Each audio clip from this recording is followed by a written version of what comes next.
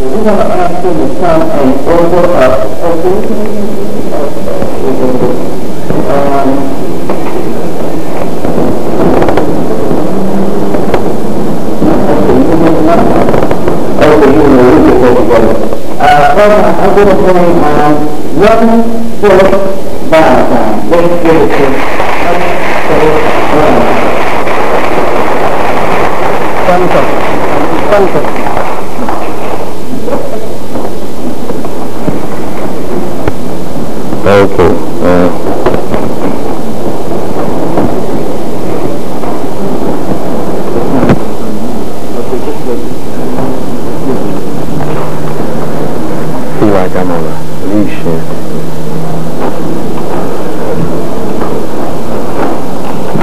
Okay.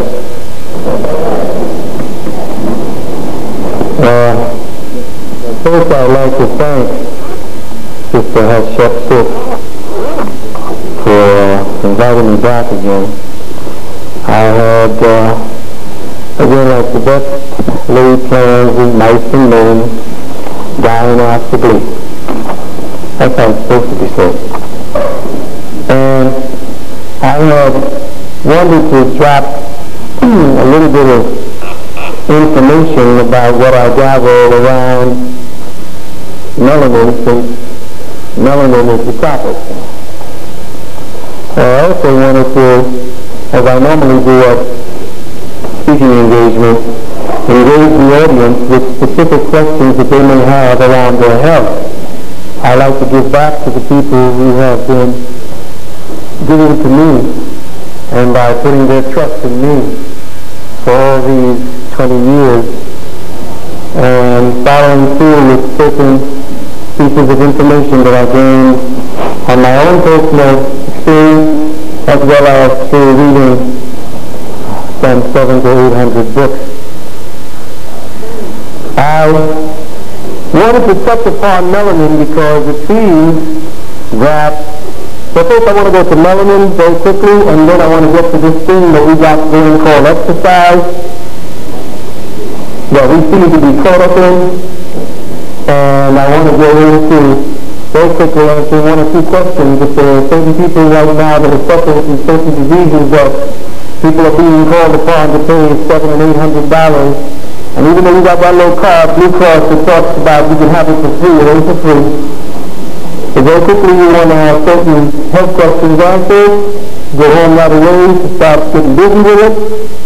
I'll answer those questions. First of all, I wanted to name this specific case, chromopathology and the myths about melanin, metaphysical myths about melanin. We have been noticing as people talk about melanin, and we are people of color, or what I call spectral people, we have this thing now that because we have color, we are not only egotistical. It seems now that the prevailing mindset was that uh, associates on the planet was tired of those so-called non-color. We were kind of out of it. We didn't like the way we were color. Well, still have little vestigial reminders about how we dislike ourselves based upon our color. But now there is this kind of opposite proud in being very black. And that's beautiful. Let's go with it. But there's certain pieces of information that we're missing about our color that has not been told to you based upon the fact that those are, who are talking about your color are not interpreting it properly or not giving you little pieces of connected information about maybe why we're that color and maybe why the color that we all are on the planet just somehow aren't the right color anyway, no matter how proud we are. And if we were superior in the colors like we say we are, from the yellow all the way to the darkest of the dark, then why are we dying and dying from the, the same diseases that our slave master had introduced to us. If we were superior because of our color, then even with the greatest of strife, we would not die from anything likened unto him. And even though we adopted his philosophies and his way of eating, his way of behaving, somehow the superior melanin would have overstepped or overstepped and we'd be back on track to our immortal ways. But first of all, I do not believe that the colors that we all are, the yellow, red, and brown, was the actual color for the species because based upon everything that we see on this planet, the color that most assimilates best with solar light is what? Hmm? Green. Now hold a minute, don't rush it. Don't rush the stage, folks. I believe that somehow there's a piece of the information that's missing about color as far as human beings are concerned. I know that the plant life on this planet seems to be able to process solar radiation more efficiently than we do into nutrition.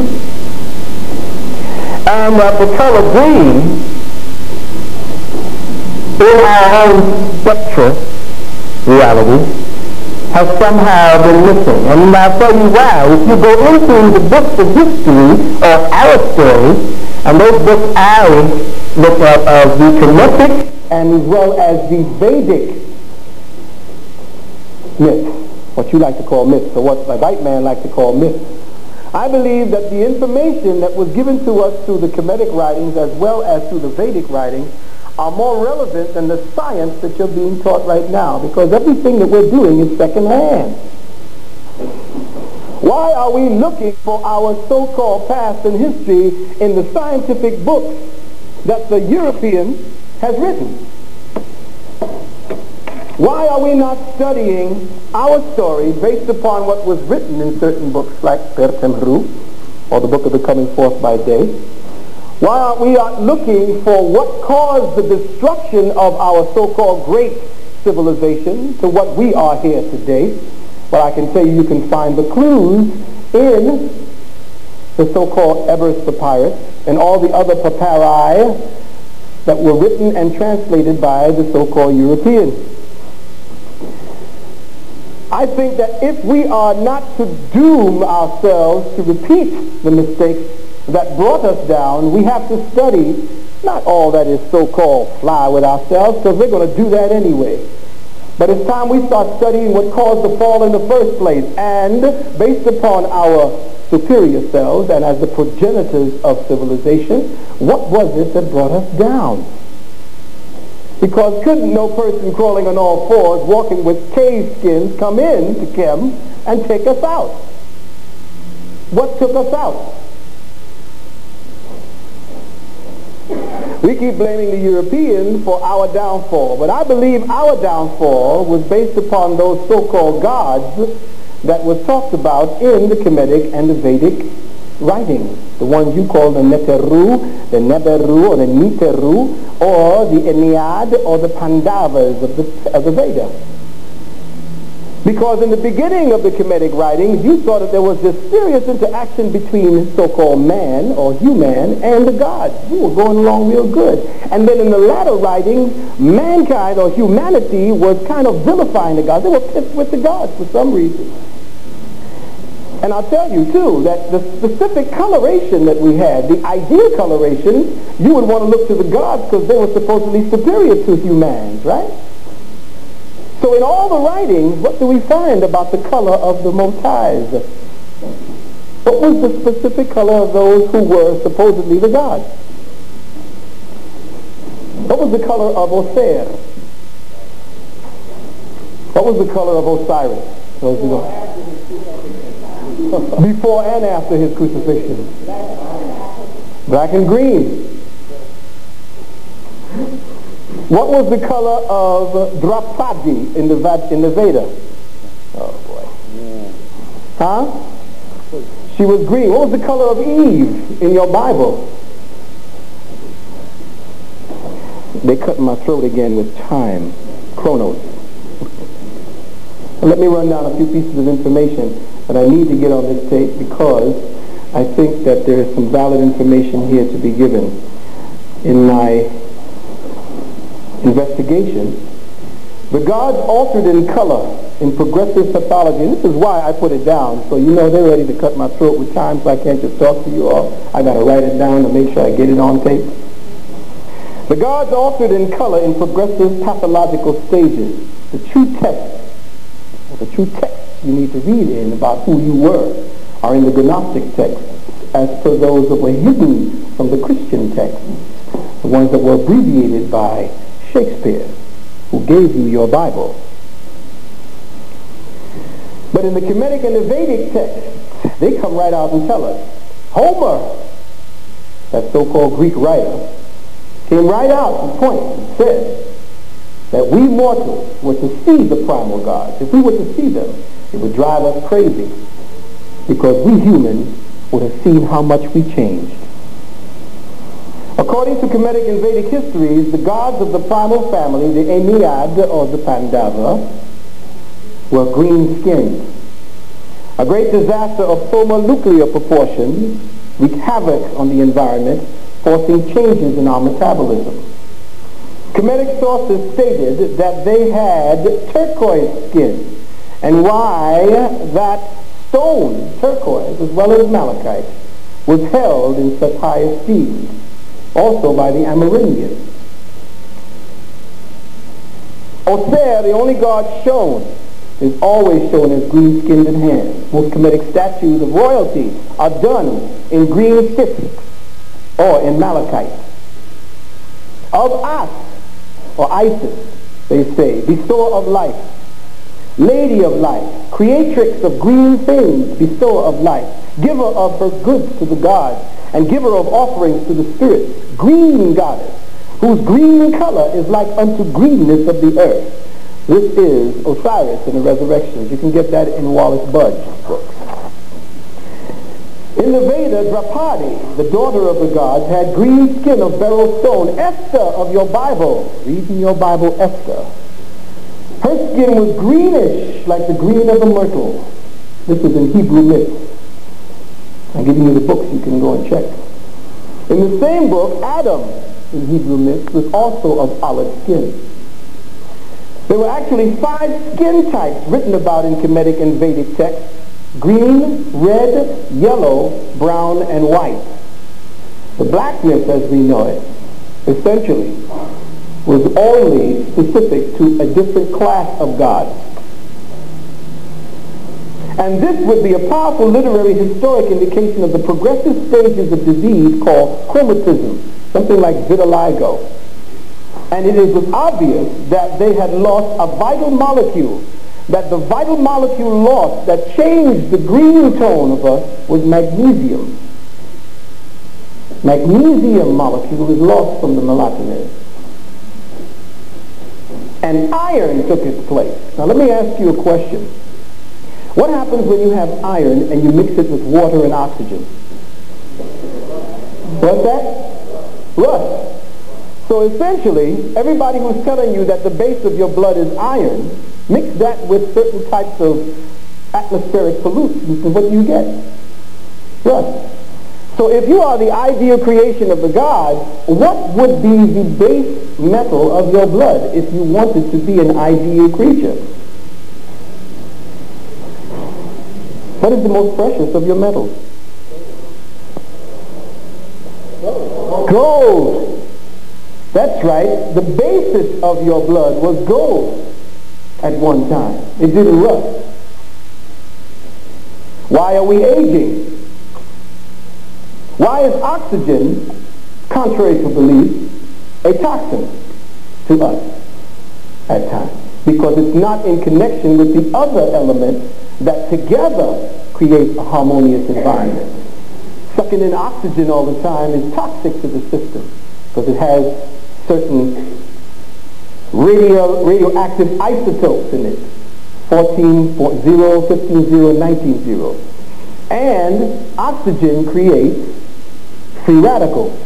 So if oxygen is so good for us, why is it that it's creating free radicals within our system? I can't get all deeper into it because of the time span. Let me just cover this quickly.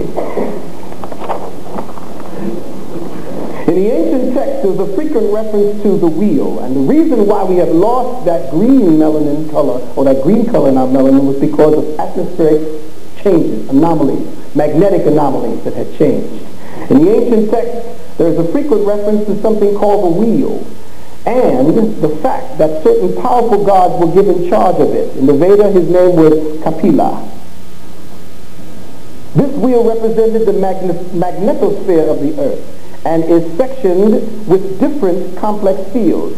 Something called the magnetopause, the geomagnetic equator with the shock wave layer, a trap radiation region, a neutral layer, zone of auroras, and magnetic lines of fields, or magnetic field lines. This you can find in the geomagnetic field of life by A.B. Du Bois. The same resonance the earth has is the same resonance that your cells give off. But around the earth is a field, a circle, as there is around the sun, of negative and positive magnetic elements. In Kemetic history, the Neter or Ser, when he takes command of Kem, after the great flood, or what he called the great nuclear flood, is given control of the wheel. And his body is shown as a circle with his feet touching his mouth in Kemetic history, Plutarch, of this Kemetic history, Plutarch, and we all know who Plutarch was, he was studying Chem, wrote that by Anubis, the you call Inpu, they understand the horizontal circle which divides the invisible world from that which is called Nefret to the visible world which they call Isis or As.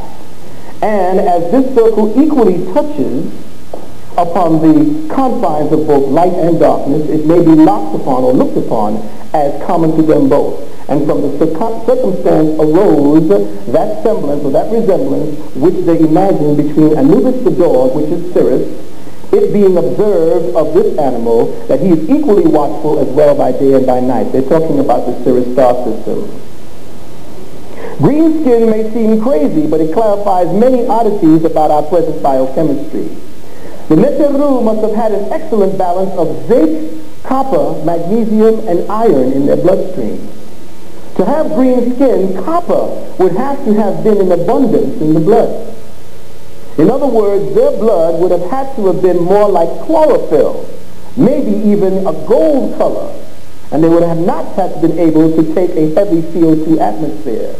Copper is an excellent oxidation reduction element as it synthesizes enzymes towards that end.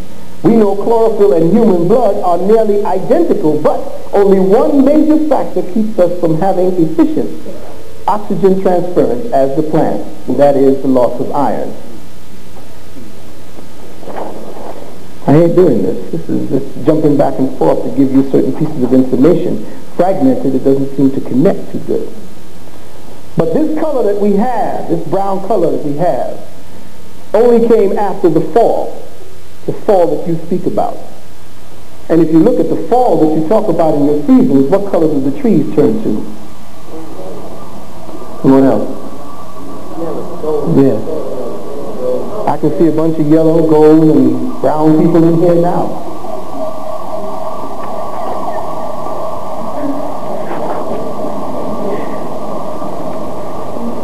They're rushing me off the stage, and I know what we're going to talk about. They say, well, Reverend Valentine's crazy again. He's talking about us folks were green at one time. You thought I was crazy when I said AIDS didn't exist in 1985. Lost a lot of friends with that.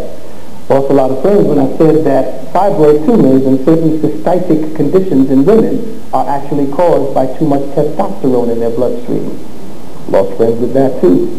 But watch, that information will come out. And until you start getting into the information about your color, the true secrets of color, you'll understand that your ancestors, the true ancestors in the gods, had a green hue, olive, malachite, and that your skin did process sunlight the way it was supposed to, like the plant. You were called at one time Saptapana, the man plant. And that's because you did emulate those things that had to do with color, the better synthesis of energy, and oxygen and iron and all the rest of those elements comes via the color green. That's why the plant is so prolific in sunlight and why we are not. As far as exercise is concerned, very quickly, you are killing yourselves with aerobics.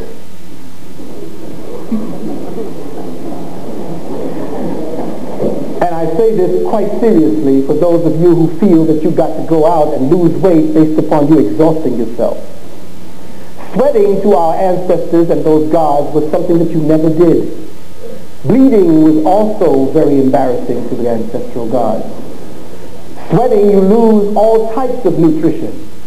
Anytime you accelerate the life force within your body, you accelerate death, especially since you're breathing in the amount of oxygen. And, and I see this happening with our brothers and sisters, running in these streets of New York, inhaling this car smoke, and expecting to tell me that they're healthy. Great ancestors never did any kind of this mad aerobics when they were dealing with their health. They did Tai Chi. They did certain types of healing that came from breath from breathing alone, you can lose weight. But you're not being told that because aerobics is an industry.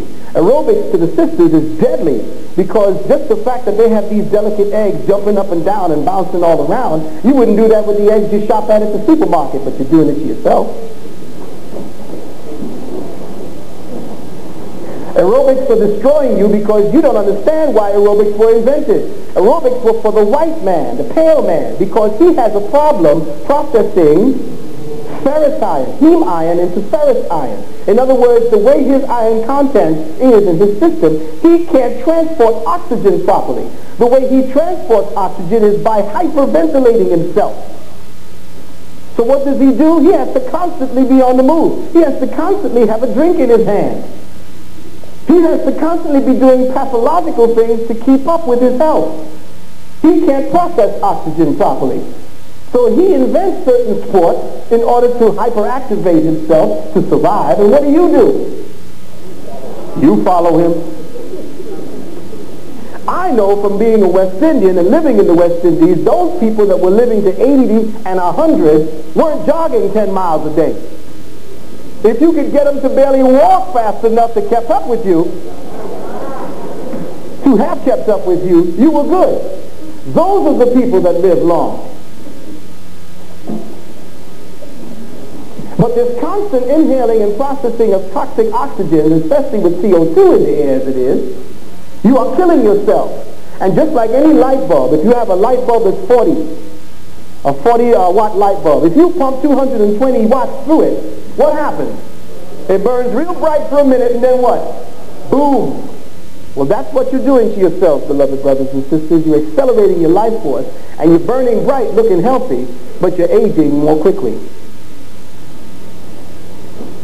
We don't have enough zinc in our systems, and this is why our sisters labor so much in childbirth, because of the lack of zinc. Don't believe that your dark brown color is all as it cracks up to be. It's a beautiful color. It is more superior to the pale man, but it still lacks something. And that lack is the color green, that chromatophore, that green, that magnesium that gives you the chlorophyll base. I love it. I'm going to get out of here and I'm going to let you know that this Friday, you want to pick up on this information, I'm going to be at the when worlds collide at 7 o'clock. And I'll discuss that along with those who wish to find out what they're getting ready to do with us through the vaccine programs. And how the vaccine programs have now been sanctioned and that how they are going to use certain paramilitary people like, um, what do you call these people that they can call from the job and do these things with? Um, no. Reserves. Come on with it. That the reserves are going to be used in order to go with the social workers to make sure that your children in their homes are vaccinated. They're going to come door to door to you now in the, in the, in the Clinton plan. So if you want to find out more about how you can prevent having to get these vaccinations, and more about let's how we can deal with melanin based upon the melanin that is just in the middle of perfect and just left of toxic. And how your melanin has to be enhanced by proper nutrition and not just because you're in the sunlight, because the sun is going to do just as much damage to you all now as it's been doing to the Europeans. Mark my words, because of the atmospheric change and the geomagnetic flux. But if you don't better go out with your hats at the beach, you're going to get the same sunburns Europeans going to be getting. Trust me. With that, I'd like to thank Pat Shepsut for the moment I have, and you can call me at numbers 718-756-1122, 756-1122, and if you want to keep up with this conversation, uh, meet me down the way at When Worlds Collide, Friday at 7 p.m. It's on Flatbush Avenue, right at the corner of Livingston Street, right down the block. Trains, I like this. the trains are the number two, three, four, or five to Nevin, and just walk south. Once again, I'm on, uh, I'm in gear four, and I'm whizzing past you all. So much to do, so little time. I thank you.